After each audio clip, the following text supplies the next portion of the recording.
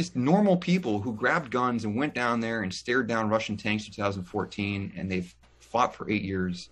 And so their their courage, uh, their their unbending faith in this dream, and the fact that they've never given up after all these years, yeah, it's it's really inspiring for me. And I, I you know, I it's probably what kept me here and you know you know not even just the young people too but my my mother-in-law and my father-in-law grew up in the soviet union my father-in-law is a soviet army veteran you know and he's the most patriotic pro-american person you ever meet in the world right now anyway just to see our best attributes that's you know, it man i love it that, that's going to be the American dream in action is it's Yeah. not the American dream anymore. It's it's kind of a global dream, and it's maybe It is. even even more embodied. Like the American dream 2.0 is the Ukrainian dream,